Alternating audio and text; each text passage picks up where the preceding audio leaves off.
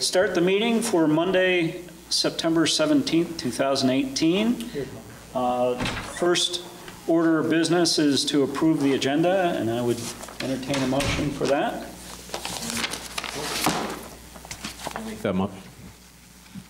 I'll second that. Any discussion or changes for the agenda that we need to have? Alrighty. Okay, all in favor of approving the agenda as presented, please say aye. Aye. Aye. Consent agenda items, the minutes of the September 4th meeting. I'll uh, entertain a motion to uh, accept the consent agenda items. So moved. Second. Second? All in favor, please say aye. Aye. Aye. All right. Public, time for the public. Any member of the public for commentary tonight? All right, there being none. Tracy. Hi there. Uh,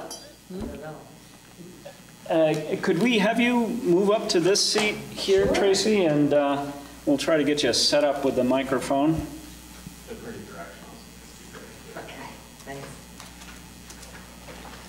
Okay, so um, uh, Tracy, you've uh, indicated interest in being a uh, member of the Conservation Commission. Um, And from the perspective of the board, we'd just like to know a little bit about you and and what brought you to our doorstep. Um, About the commission or Yeah. No, the commission. What, uh, what what is your interest in that? What's your background? How does that, that all fit together? Okay, so, um, could you talk right into the mic? Yeah. I, uh, moved to Waterbury, um, two and a half years ago, um, and purchased a property, Sarah Lee's property, about, uh, a year and a half ago. And I wanted to get involved in the town in some way. And I was looking around at different committees and, um, went to a couple and went to that one in particular, and I liked the way that Alan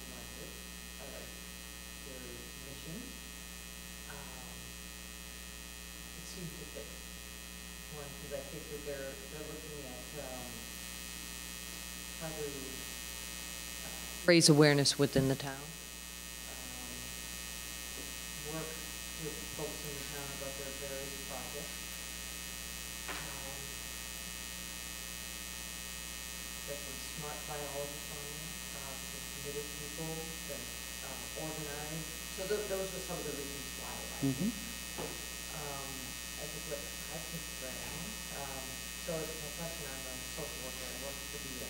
And I, I skills, I'm not a biologist, uh.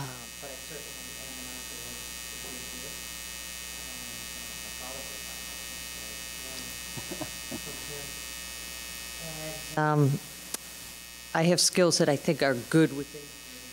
We've done a lot of community work um, in the VA, um, know how to manage groups, um, know how to manage uh, dissent, meet with people and how to manage, manage things. I think the clinical skills that you learn, working with homeless veterans, you can also work in any group, in any committee, to help smooth things and find some common ground. Good, good. Um, Any questions for Tracy from the board? Okay, well, we certainly appreciate your interest in, uh, in joining in the, uh, in the town's endeavors like that.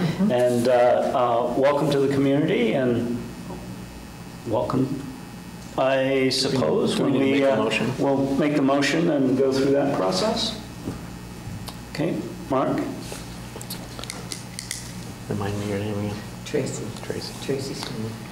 I will make a motion to appoint, is there a time frame on this? I forgot to look it up, but I can Okay. fill it in. Um, To appoint Tracy Sweeney to the Conservation Commission for the said amount of time. I'd second that. All right. Any further discussion on the nomination? There being none, um, all in favor of appointing Tracy Sweeney to the Conservation Commission for the term to be determined here, uh, please say aye. Aye. Aye. Aye. Very good. Thank you, Tracy. Thank you. Thank you. Probably the, hopefully more to come with other involvement. Yes. It's a start. Thank you. Welcome to the community. Yes. Great community. Thanks. Thanks. I'll let you know what that term is. Okay. Megan's term. Yeah. Uh, Most of these are are generally two-year sort of terms, but is it Conservation Commissions are four. four? So the So, remainder of Megan's term, I, I don't recall what that is. okay, all right, sounds good. Um, Oh, wait, I can tell you in a minute. ooh.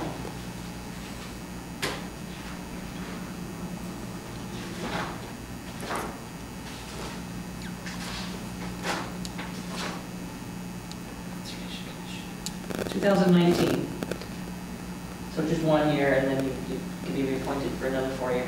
Okay. Okay. So not even a year, maybe next. Okay. It'll be April thirtieth, two thousand nineteen. Okay, great. All right, managers' items. Yes, sir. Um, At your places or distributed to you by email, uh, there's a draft, um, it's headed current policy and then proposed policy. Uh, And attached to it is a copy of um, Section 5 of 32 VSA. And This, this deals with uh, tax bills and their confidentiality or not. Um, A number of years ago, there was uh, issues raised in the Vermont legal community and throughout municipalities from uh, folks wanting to get information on tax bills. Uh, Typically, the people looking for information are, um, you know, escrow agents or attorneys that are working for somebody either buying or selling a property. And there was some gray area uh, when we, um, Act 68 came into play, and the, uh, what used to be prebates that were sent directly to homeowners for their property tax relief were turned into state payments uh, that credited your bill. So even though it would be very difficult, um, some suggest that you might be able to figure out somebody's income by looking at their property tax bill, the value of their property, and then whatever state payment you receive. So the legislature clarified a couple years later that these tax bills, the information regarding the, um, if a tax bill has a credit on it, it becomes a confidential tax bill. So in response to that, a number of years ago, we, um, well, actually, in response to the fact that they were confidential, or the argument they were confidential, we passed a policy that basically said you could come to the office and get your own tax bill, or we would mail it to you. We would not provide it to your attorney, we would not provide it to um, an escrow agent. And so the current policy on the front page is what we live by now. And um, for a variety of reasons, customer service, I think, highest among the reasons, we're asking that we change the policy. Um, What happens now, if an escrow agent calls and they want a copy of your tax bills so that they can make sure they pay it on time, we tell them that we can't send it to them, that the taxpayer has to come in. And the taxpayer will come in, we end up making a photocopy of it, giving it to that person. That person faxes it or emails it to the escrow agent. Um, We do all that work anyway, but we're making it very inconvenient for the taxpayer. So what we propose is, uh, we will still not provide the information by phone. Uh, If we get a request in writing, and that could be an email, um, stating that they are the, um, one of these um, authorized personnel, that we will then, uh, for $2 a parcel, send that information out. And it's important, the $2 per parcel is, and Carolyn may know the name of the company, but, you know, we get escrow companies that call and they want 150 tax bills, and it does take time to process those. So uh, we're asking that you allow us to do this. Um, I think it will make our residents and taxpayers happier because they won't have to come down here to get them. They can just be sent to the people that need them. Uh, There have been times where, you know, people are on vacation in Florida and their tax accountant is wanting this information and they call up and say, our policy is we can mail it to your home address. And if they're in Florida, that doesn't really help them too much. So I think this will be uh, much more helpful to the um, taxpayer, and it will, uh, the burden won't be any different on us, except we'll get paid for a little bit of time. There'll be no charge to property owners. Right. So if you come in looking for your own bill to do it yourself, we'll just photocopy it and give it to you. so. I- Is that stated anywhere other than just practice? No, but we can add it. Because that's, that, that was my only question with this. Um, Well- In the, in the original policy, uh, policy, you've got, uh, it, it's basically addressed to the property owner, and in the proposed one, uh, the property owner is not listed there. I think we can add it. So, yeah, with that addition, Yeah. that, that covers that and, and also deals with the fee. We are one of the very few municipalities evidently who have such a draconian policy. I mean, Carla has looked. They're pretty, most municipalities are pretty tight, but this is like zero customer service. Hmm. Right. Um, Do you need a motion to adopt the proposed policy? Yeah, with your additional language that we'll insert. Is, is it still available that you can look up tax bills on that online? Yes, Is that something which is where we direct escrow agents and real estate people. It's the redacted copy, it doesn't have, obviously doesn't have state credit on them. But that doesn't limit who can access those bills. But this Right. would be a limit of who can access at the counter. Huh? Um, we're, we're limiting who's allowed to access that information at the counter.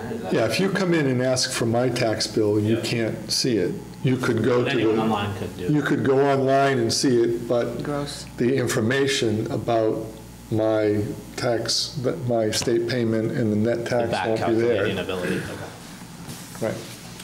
I'd make a motion that we allow um, Bill to put into force the proposed policy. I'll second. Written, but with the change of your language. Yes. I'll second. All right. Any further discussion on the issue? There being none, all in favor, please say aye.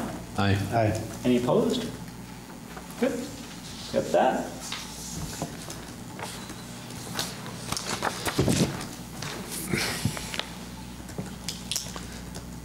The police report is under manager's items, but you can take it if you'd like, Mark. I know, um, I sh- what's that? Sorry. Okay. Um, We were discussing it a little bit earlier and, um, when, when Mark arrived. I've not had the opportunity to uh, transfer this over into the, uh, the the graph form. Um, However, you can, you can see from um, the uh, report here, uh, more activity by the Waterbury troopers, that, that shift occurred that uh, we anticipated where uh, the number of calls handled by the uh, uh, resident troopers compared to the calls handled by the Middlesex troopers has, um, has shifted to that, that balance that we were actually looking to see. Um, We did have uh, some discussion earlier about the, uh, the increase in, in the enforcement activities. Um, It appears to be uh, a very smooth transition uh, as they become a presence in the community. The first month was uh, more getting folks acclimated to the new presence being available, and uh, now the activity level is, is beginning to, to shape itself up. Um, The uh, Out of, out of district calls, we're, we're limited to one uh, assistance on a fatal motor vehicle crash.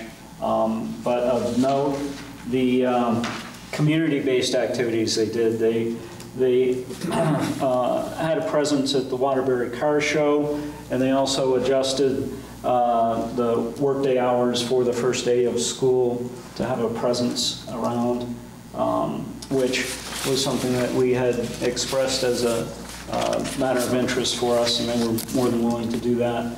Um, In addition, Bill, did you want to mention the, uh, the discussion regarding Crossett Brook? Yeah, um, I think you all remember when we entered into the agreement um, and we talked about schools, uh, I did tell Lieutenant White that um, even though Crossett Brook is in Duxbury, uh, there are Waterbury children that go to that school, and I didn't think we would have a problem if they would pay attention from time to time to that area. Um, Rick Ostrom, the daytime trooper, was in to see me, well, he brought this to me uh, early last week, and then he was in on another occasion. Um, And I asked him about that. He'd been over there a couple of different times. I noticed on Front Porch Forum one day last week, someone wrote in expressing concerns about people doing Carla's favorite move, passing on the right. Uh, She chastised me for that one. It by me. Anyway, uh, uh, as, as people are waiting to turn left into the Crossett Brook School from Route 100, a number of people from the through traffic were going by in the breakdown lane on the right-hand side, and they just, you know, asked people to, to pay attention. They didn't know if it was illegal. So I forwarded that Front Porch Forum comment on to Lieutenant White and said, you know, this is an example. Uh, He got back to Mark and me on Friday, I think, and indicated that he had um, passed this information along to both troopers and that they would uh, pay attention to that.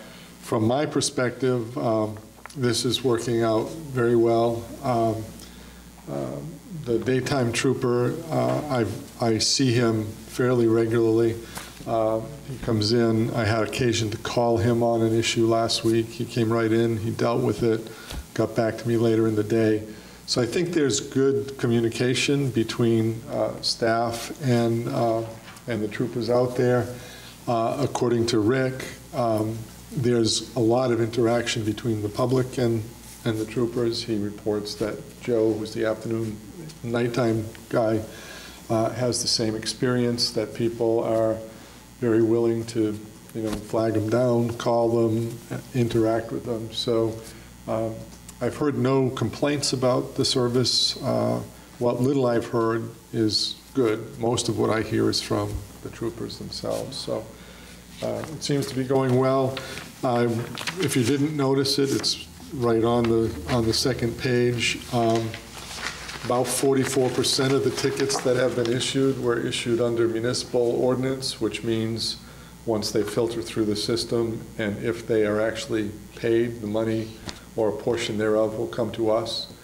For every traffic ticket, if you get a $100 ticket for speeding, uh, the state takes, I don't know, $26 or something right off the top for an administrative fee, and then you get the rest. The only thing that we would get tickets revenue for would be for speed violations, um, maybe stop signs. Stop signs. Uh, But crosswalk violations, uh, defective equipment, careless and negligent operation, those are all state statutes, and the money, no matter which, even if we had a, you know, if the Montpelier police officer writes that kind of ticket, it still goes to the state, so.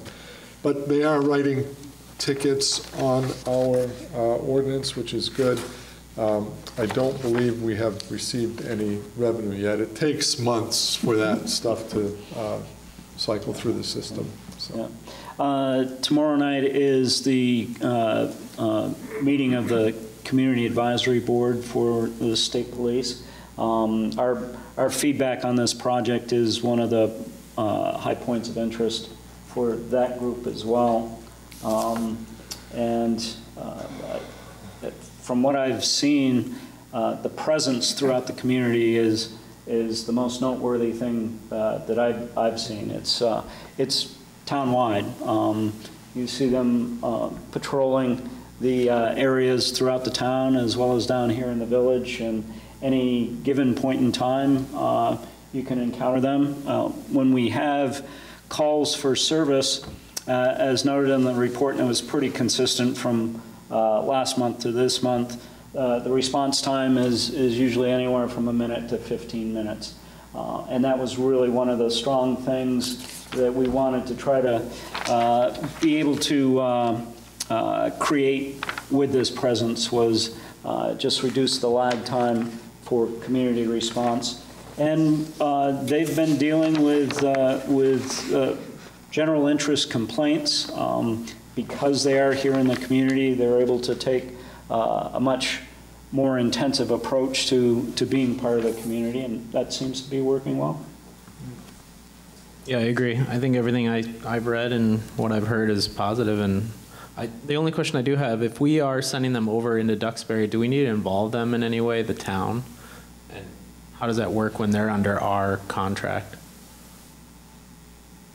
Involve the town of Duxbury? Yeah, I don't know, like, once, if they're, if they're working under our ordinances over here, they're under a contract Well, to, that would be under state auspices. so now they go over there, they're just, Yep. Okay. Uh, Duxbury is covered by the state police out of Middlesex, um, and uh, this uh, particular area is an area where quite often in the past, when the village PD was here, things would happen there, um, uh, the village would slide over and. I didn't know how that cover worked, that's Yeah. no problem. Yeah, If- if no, it's pretty much seamless. If they write a ticket over there, it's going to be on the Route 100 State Highway. You know, there'll be no revenue coming here.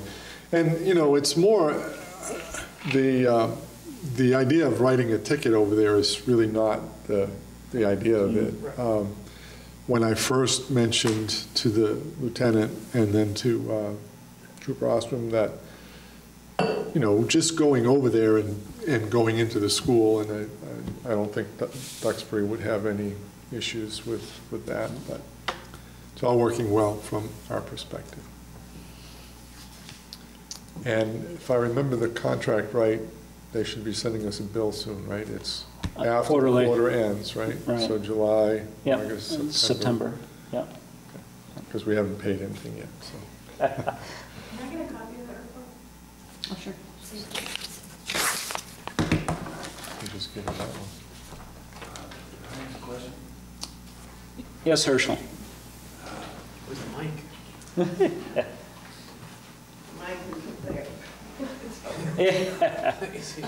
Herschel Murray, uh, Waterbury.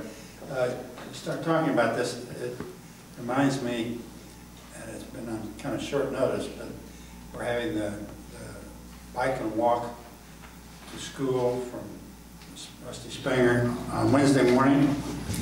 And in some of the emails that have flown back and forth, someone raised the question, uh, do we need to notify some police, uh, something, because of, you know, the the street up to Thatcher Brook can be crowded.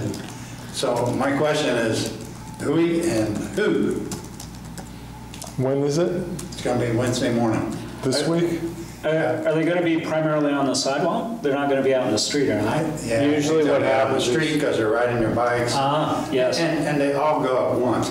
I've, I've worked the thing several times. Yeah. But down there where you're handing out the, the, the goodies.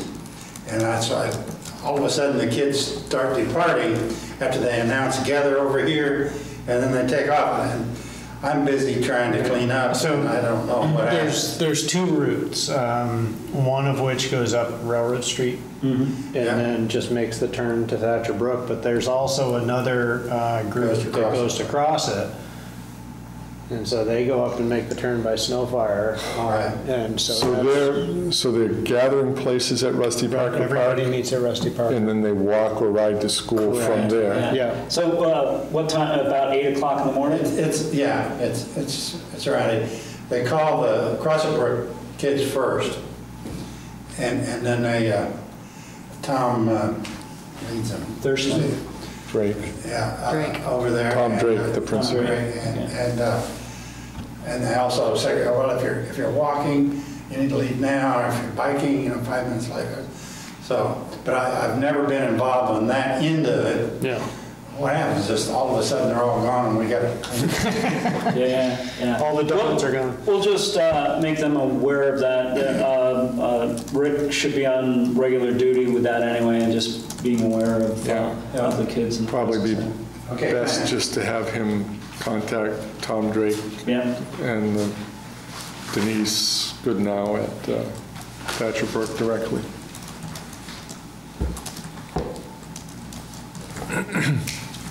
Okay, discussion of generator.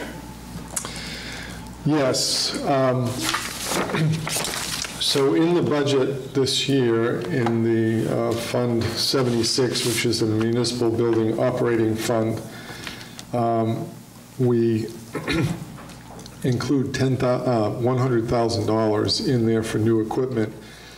And um, I believe uh, about $20,000 of that new equipment is a new um, server and computer equipment for the building that we'll need to put in probably before the year ends. And then the balance is mainly a generator. Um, And I can't remember if the generator was 80 and the server was 20, or if the generator was 75 and the server and something else. I didn't dig out the detail of the, uh, of the, of the budget. If you need that, I can go get it. Um, The board directed uh, the installation of a generator here at this building in order to uh, harden it, armor it against um, loss of power for extended period of time so the building could, could function. Um, I talked with Barb, we applied for a hazard mitigation grant or, or another grant from, um, I think it was a hazard mitigation grant. Anyway, we, we applied for a grant from the state of Vermont, uh, as did many other communities. Uh, As far as I know, none of the generator grants were funded. Um, It wasn't a high priority for the state to, to dole out grant money for that.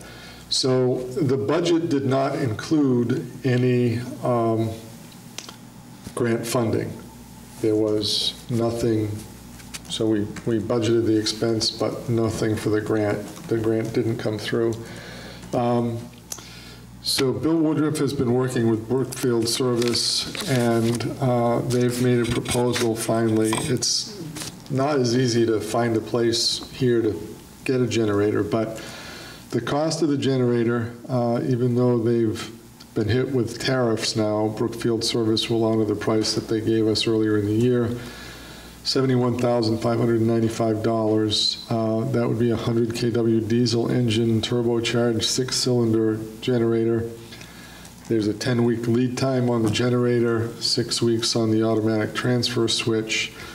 Um, The generator will have to be located on a concrete pad to elevate it up above the flood water level, and more than likely, its location will be kind of in the back of the front building, the, the Janes Building, outside my office window, near the cedar trees back there. Um, So if we're going to do it, that's more than likely where it has to go. And, uh, you know, it will be a little bit more visible to Main Street than I wish it were. Um, I suppose we can screen it down the line if we have to. I did talk to Dina briefly uh, on Friday after Bill gave me this information. Um, I don't think anything is necessary as far as, um, may require a zoning permit, but she doesn't believe it has to go to the DRB. Uh, If it does, we'll do it. So my, my question is, is the board still on board with doing this or not? Is the 71.5 including, are they installing that pad, are they Yeah, that's all, that's all inclusive. in the connection to the panel and all, everything? Uh, Yeah, I believe that's everything, Mark. Um, There's always some incidental things that come up, but I believe this is an installed price, including the pad.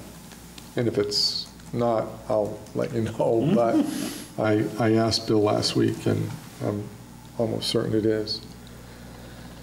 you know, we have a generator. It would be, it would look like what's outside the fire station here. If you go in the back of the fire station, it's elevated up on that pad. Um, You know, we hope we'd never need it. If you remember, we had a problem l- last winter with, um, we had some freeze-up stuff here and things weren't working right with the heat pumps. And uh, we got a little concerned saying, wow, if we lost power for any significant period of time. So anyway, that's what the deal is. It's not cheap, and there's no money to do it except our own, so What, what was that grant total? I'm sorry. there is no grant. I know, but what was the one that we were, what was the application? I think it would have been, uh, um, Was it HMGP money? yeah, I think it was 80%, but I don't, I- Yeah, yeah, I think, I think that's about what it was. So, um, uh, the board has already previously approved going ahead with this. we put it in the budget. Yeah. Um, You know, I didn't, you know, uh, And we're within the didn't know- parameters of the, of the budgeted items. Yeah, this, um, Fund 76 is a municipal building operating budget. Um, We ended last year with a, about a $50,000 deficit. Um, We're, we're transferring into this um, budget the leftover money from the construction job, Fund 80. There's about $93,500 that's coming into this fund. And without the generator, I mean, with the generator at 100,000, it shows that we'll end up with the same $49,000 deficit that we had at the beginning of the year. But if the generator is only 71 or 72,000 dollars, that's 28,000 dollars or so. Some of these other line items may or may not be as high as they're budgeted. It's, you know, if we end up with a slight uh, deficit in this fund, it, it's not a killing matter. We will carry it forward and eventually we'll catch up to it. But um, I, the deficit will not be as much as projected here because we have a projected expense of, well, actually, the 100,000 isn't all for the generator, that's for the server as well. So we'll probably be in that same, in that same range. Do you need any sort of motion from us with that? Uh, Uh, Since it's in the budget? Yeah, um, I, I think you should make a motion to do it, just because you also agreed to apply for the grant money, and now I'm telling you we didn't get it. So just to kind of confirm everything, we'll have new auditors coming, so. What, um, what's your feeling on that grant and the uh, possibility of us if we were to reapply next year? Is that a yearly? I mean, I know it's, you never know with grants, but I'm just wondering. Yeah, um, we could, we can apply again. Uh, As far as I knew, n- you know, no one else who applied for generators got one. Um, Barb isn't here, so I can't confirm that right now. Um,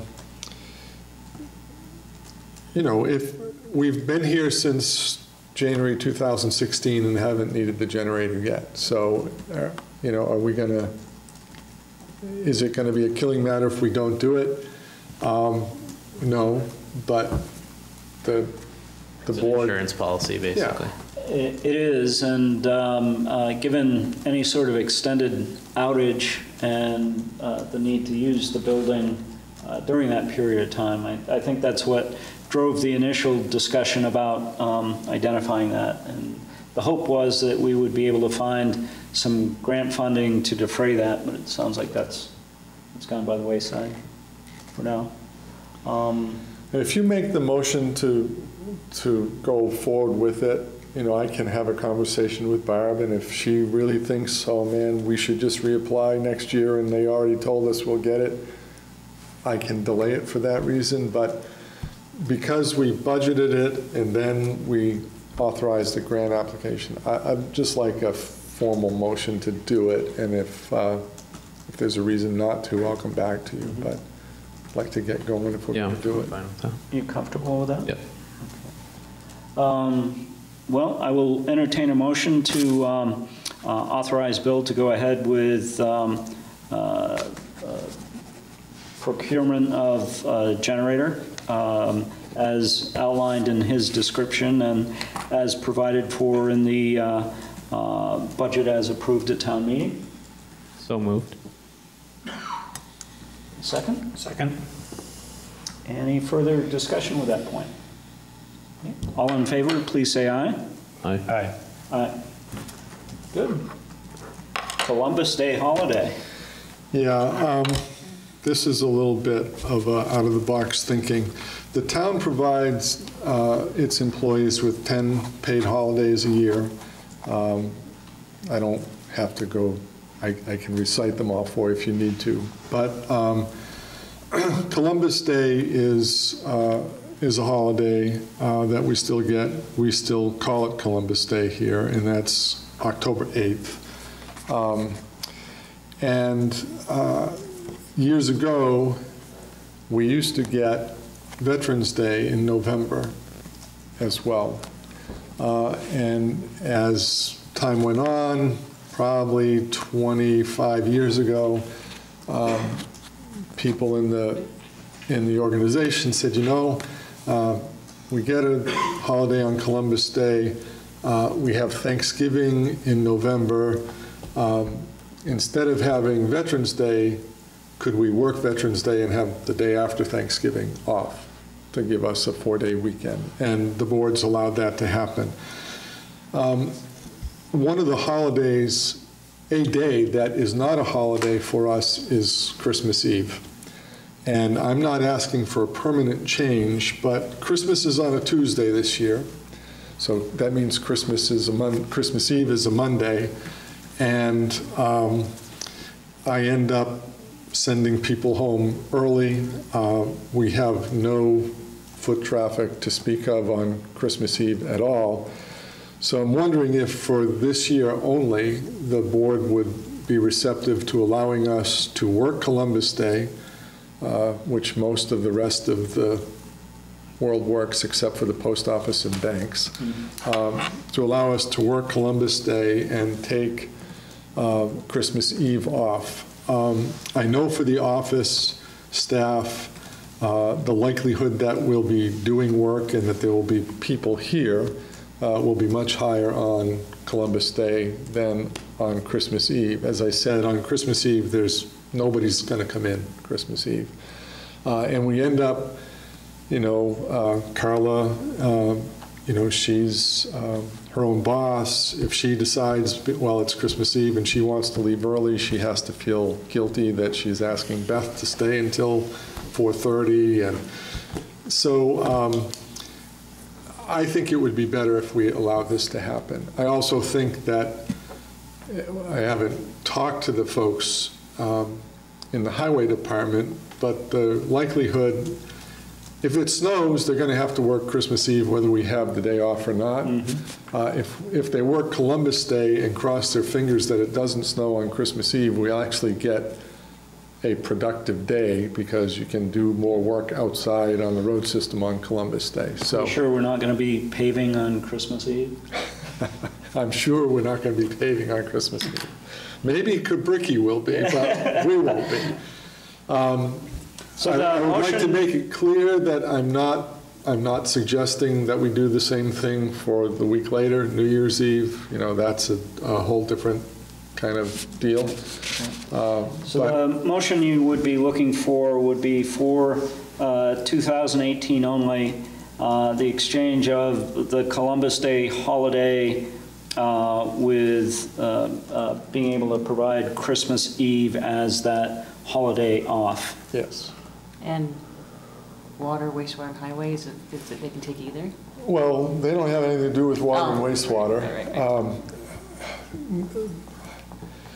I guess, you know, if the highway crew decided, oh, no, we want Columbus Day off because we want to go uh, hunting, you know, uh, You would bow like that hunting or whatever, flexibility. We can let them deal with it that way, but, um, all right? Um, Is there a motion to that effect? I'll make that motion. Second? I'll second. Any further clarification on that? Do you think anyone has any kind of scheduled plans to leave since it's so close to the 8th? Uh, There are people that do, that I know of, but they take a vacation day. Okay. They're, they're not going to have a holiday taken away from them, you know. um, So, Good. All in favor, please say aye. Aye. Aye. Aye. Any opposed? Do something barbecue that day. Good. Um, Annual audit. yeah, um, this is just uh, uh, asking you to update what we did before. When I presented the information about the audit to you back several meetings ago, uh, what I said was, um, you know, it's significantly higher price than it was before. Uh, Starts at $22,000 in 2017, stays that, I mean, for the 17 year. So this year, and the first two audits will be 22,000, it goes to 22.7, 23.3, and 24. And what I suggested was, perhaps we um, can just do this, and because we only had one proposal, to re-advertise next spring. Um, When I got back to Sullivan and Powers, and I didn't even ask them about that, I called them back and said, we've accepted your proposal, let's schedule a date, and I thought would be already doing it, and they said, well, we almost didn't uh, submit a proposal because, you know, we're booked, so we'll probably be there around Thanksgiving. So if we have to wait until Thanksgiving to do this, and then you have to ramp up, and you, it takes a lot of work to go from one auditor to another, because they're going to want to look at the last audits. Um, I just don't think it makes sense to bother with next year trying to put this out again, because they would like to do our audits in March or April rather than the June, July timeframe that Yakuboni did it. So they'll be here in November, then they're going to come right back. I also talked to Bill Yakuboni and uh, talked about the price, and he, he told me he thought that the prices that we got would be higher. So he said, it's not a bad price, I would just stick with them, they're a good firm. So uh, you don't really have to make any motions, but um, unless you don't want me to do it, I just told you I'm going to do, I think we'll just stick with them through this five-year term as is, and we'll go from there. Sounds like the proposal was reasonable, and the, the problem was just the, the initial scheduling, and once we fall in as a regular client, uh, that should smooth up. Yeah, Sounds fine to me. thanks. All right, so we are at the end of our agenda. Make a motion to adjourn. I'll second that. Hmm? All in favor of adjournment? Please say aye. Aye. All right. Thank you all.